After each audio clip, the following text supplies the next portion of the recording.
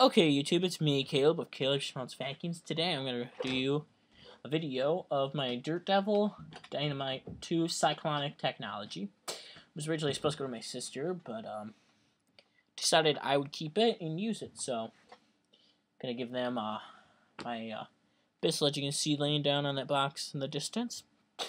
But, um,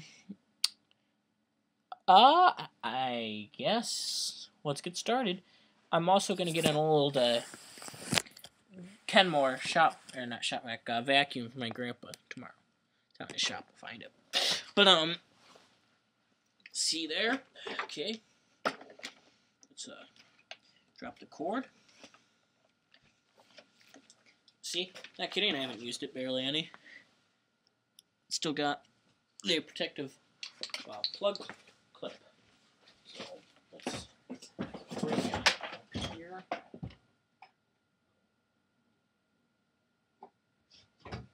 The light socket.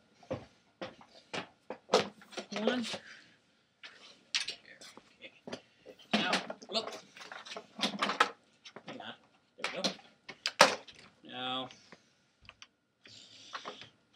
um, foot release, and uh, turn it on. Hang on, sorry.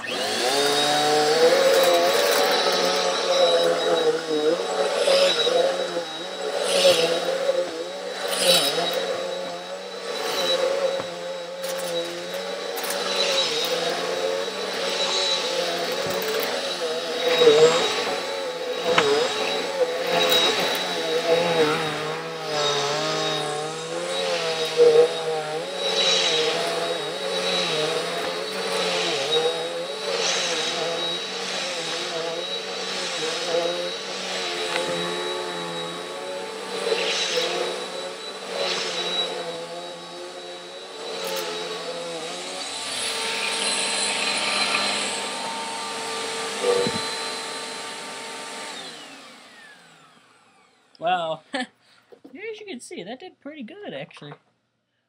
It's um, it is at the full mark. To tell you the truth, brush roll any dirty. Brush rolls just got a little bit of dust. Underplates just get a little bit of dust. Um. Anyways, YouTube, I'm gonna go ahead and uh move all these vacuums out. oh, Excuse me. Gonna move all these vacuums and stuff out of the way.